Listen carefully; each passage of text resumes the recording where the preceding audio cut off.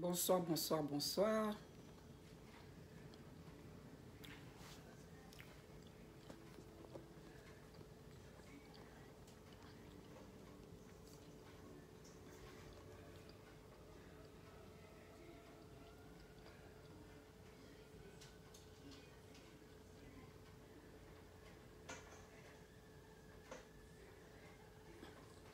bonsoir bonsoir bonsoir bonsoir na bandeko boza connecté na heure oyo un bon week-end à vous nakozwa bino temps mingi te bokota bokota bokota tosolola mwa moke quelques minutes seulement je vous prends pas beaucoup de temps je vous prends vraiment pas beaucoup de temps baoyo baza connecté bokota bokota tosolola mwa moke bonsoir na bino nyonso oyo boza connecte bon week-end na bino bonsoir bandeko na nga bopartage live bonsoir pasi bonsoir merci de ta présence dans ce live c'est un petit live de quelques minutes donc euh, voilà en fait je viens juste parler na communauté congolaise mpo na nini bacongolais boya motema mabe boye hmm? mpo na nini biso bacongolais na bacongolaise toa motema mabe makasi bokota bokota bokota bino bato bolandaka nga bopartage bopartage bopartage live oyo ya quelques minutes je pense tosala tout au plus 10 minutes na live oyo bokota bokota ya bino ndeko yeyo kaka nde nayaka tetelando bayaka faites le partage de ce live c'est un petit live de 10 minutes maximum Euh, je suis dans ma cuisine, je suis en train de travailler. Donc, nazozela bino bokota, bosala partage ya live oyo to démarrer yango en quelques minutes. Je vous prends pas beaucoup de temps. Un bon week-end bisika bozali.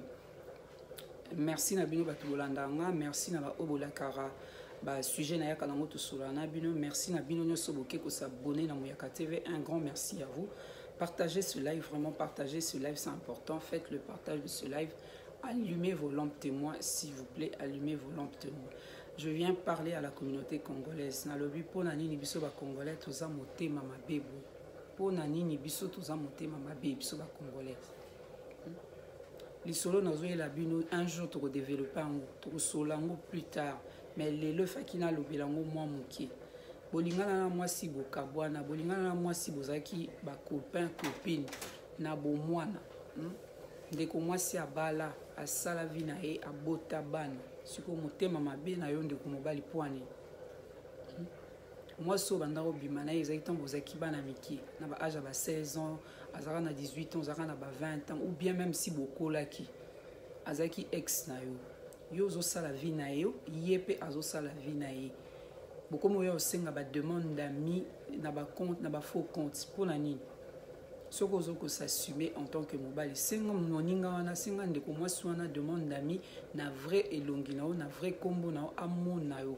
atala soki akolinga kopesa yo ki amitie na ye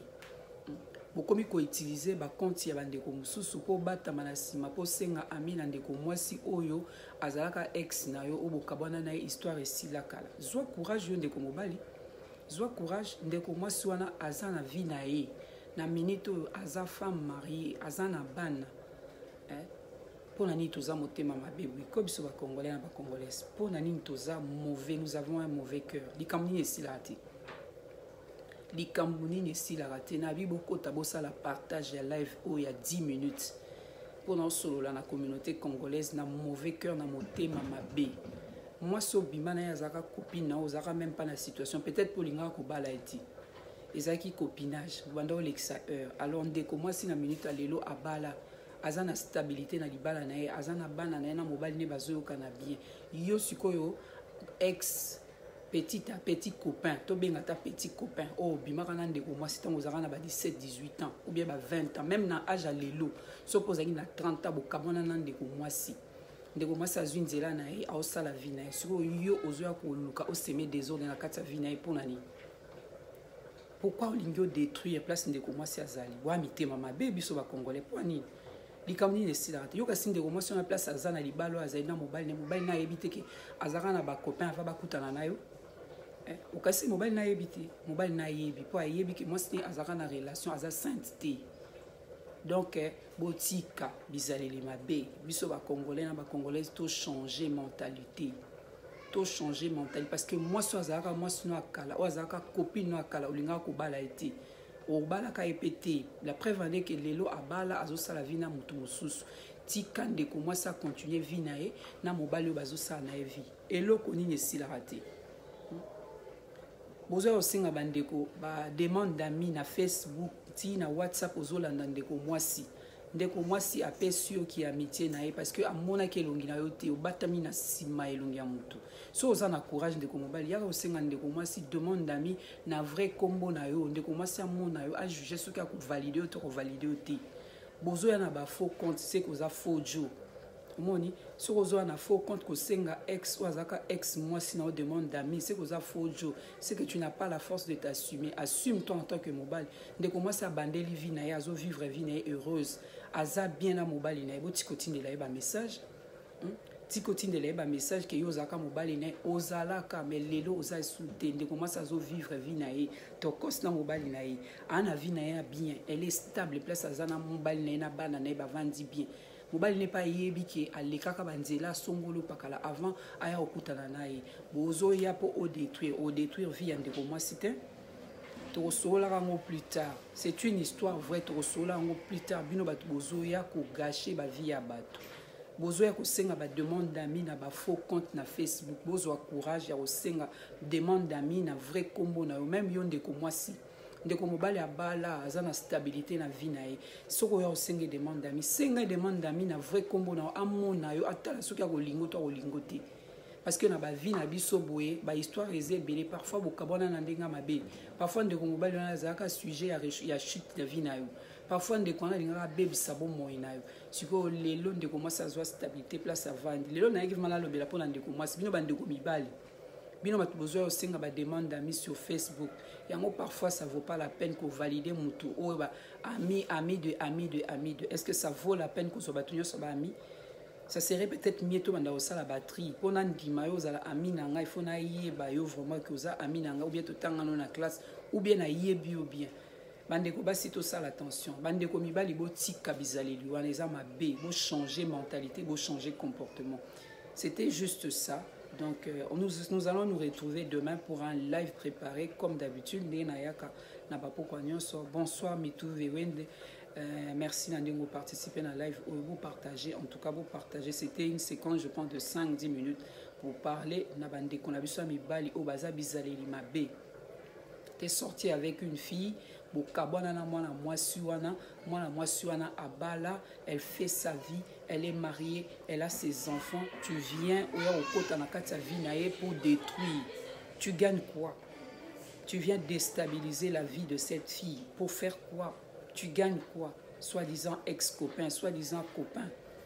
soit disant azalaka mobali ya vie na yo ozalaka mobali ya vie na ye soki ozalaka mobali ya vie na ye ifaki obala ye bobalana bobota bana ensemble tant ke bobalana te bobotana ndeko mwasi wana te donc ozalaka mobali ya vie na ye te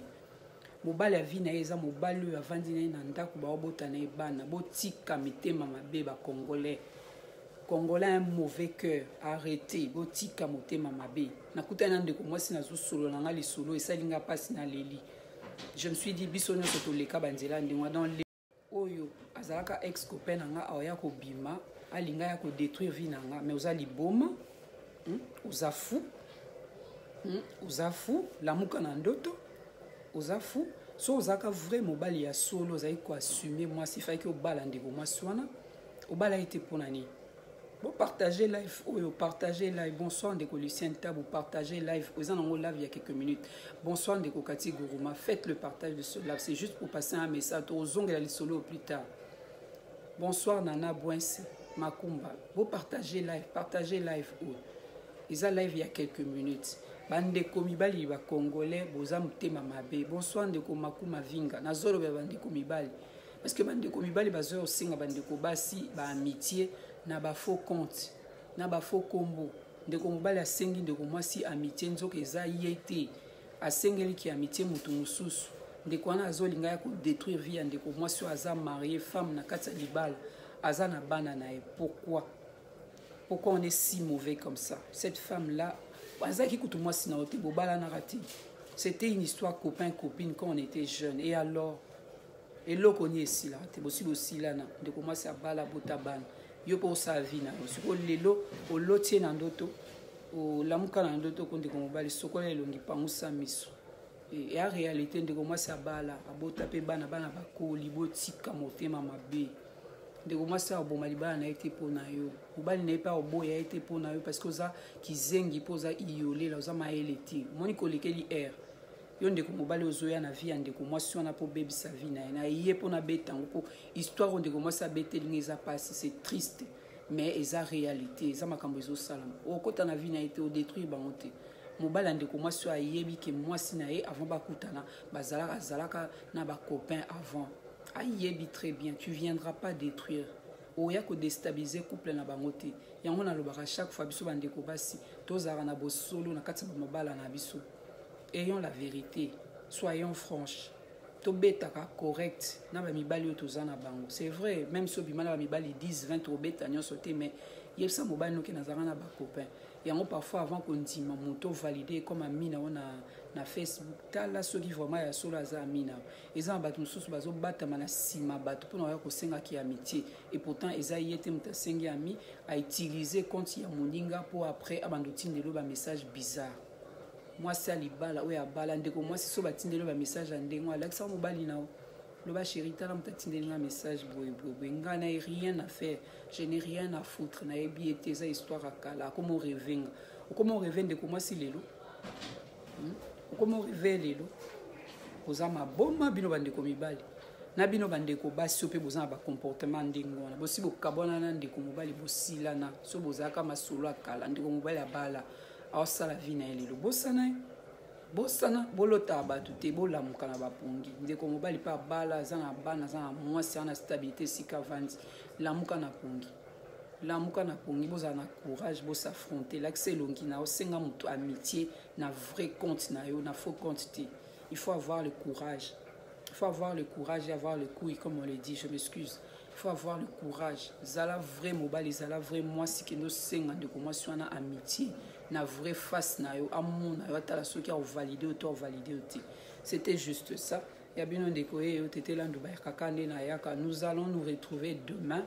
pour un vrai live na pokwa nous avons un bon sujet à traiter demain bokota bokota bokota ebele lobi to se retrouver tosololaka ndenge ezalaka na cadre ya masolo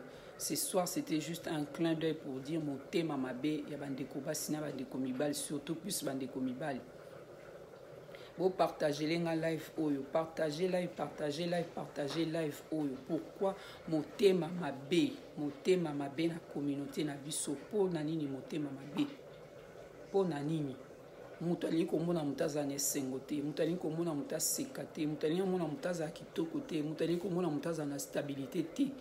moto alingi komona moto azala propre te so oza na esengo bato balingi badétruire esengo na yo hmm? soki oza propre bakomi kotonga ye balingi bamonaka bandeko heure nyonso basufraka hmm? bali kombo na heure nyonso ndeko lucienne tabu soki avandi azolela wana bandeko bazoyoka bien soki omoni ndeko eh, ntimba albertina wana esengo wana ozoyoka mabe soki omoni eh, vewen eh, mitu aza na esengo na libala na ye na bana na ye baza alaise na mobali na ye ozoyoka motema ketu susi na yo eza olingi oya kodetruire mpo anini na communauté na biso toza motema mabe boye hmm? soki moto azosouffrir botongi moto aza na esengo botongi finalement bato ifo bavivre ndeni bato ifo bavivre ndenge nini moto avanda na libala bolingi boya kopanza libala soki abomi na libala abomi libala avandaka na libala te azalaka mobulu azalaka boye azalaka boye ma ifo oyeba eloko tolingi ifo toyeba eloko tolingi motema mabe motema mabe surtout bino bana mibali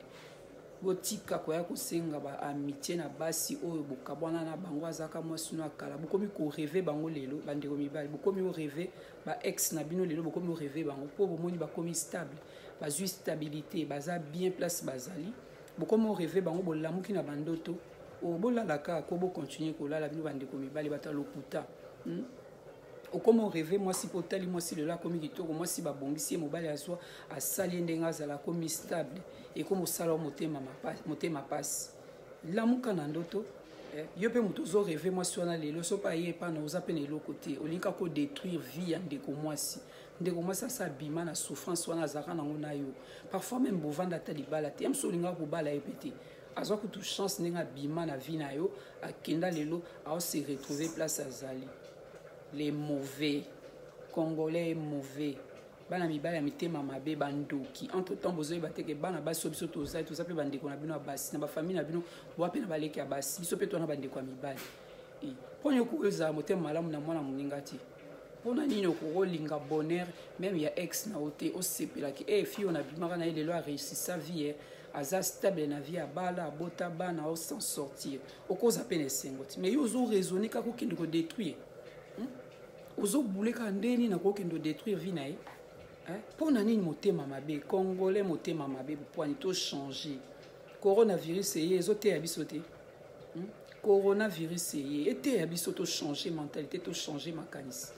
coronavirus eye bandeko tochange hmm? changeons notre mentalité bonsoir ndeko na nga angele kambi eh? changeons notre mentalité bobima na mwasi kala aza ex na yo bokabwana mwasi abala bokomi kolukisa ye obebisa libala na yo ex ezala mwasi ezala mobali okomi oluka ndeko mobali odetruire vie na ye mpo na nini ndeko mwasi mpo okomi kiwelewele okomi iyolela otelengani na vie yo ndeko mobali otelengani na vie otelengani na vie soki mwasi wana azalaka mwasi ya vie na yo efaki bosimbana na ye botambola ensemble bosala vie omoneke mwasi wana abongi na yo te moto mosusu aye alokoti comme on peut dire na moto wana bazo avance bazosala vie alors tu viens détruire oza na motema keto olingi oya kobebisa stabilité ndeko mwasi aza nango na kati ya couple na ye na mobali na ye na bana na ye pour gagner quoi yango baobebisa bavie na bino bocontinue bino bato ya mitema mabe bandeko basi bosala attention na bato bozovalide baamitie na bafacebook na bawhatsapp baza bafaux compte ya beaucoup qui utilise bacompte ya baninga mpo asenga amitie parce que ayebi ke so aye na vrai face na ye boye okosenga amitie okoboya autilize elongi ya moninga mpo ovalide ntango ovalide elongi ya moninga ne omona bakomi otindelo bamessage ndeko mwasi moko akutani nango asololi na ngai azolela na nzela abi ndeko mwasi tala tala tala makambo nakomi nango ma eza mpasi eza mpasi hmm? nga uta ata na bima na yo na bima na yo kala na bima na yo kala wa liboma parce que na minute lelo nga stabilité depuis banda mokili ebanda marie mère de quatre enfants na bala donc oya no na badésordre wana oya zoba oza mayele te olekeli vie olekeli aire ozangi eloko osala nayebisaka ndeko mwasi courage asola na mobali na ye eh, batya na se na mobali na ye parce que bolingo eza kati na bango bino bato bozoya kodétruire bacouple ya bato bozwa te zero bonsoir bonsoir bonsoir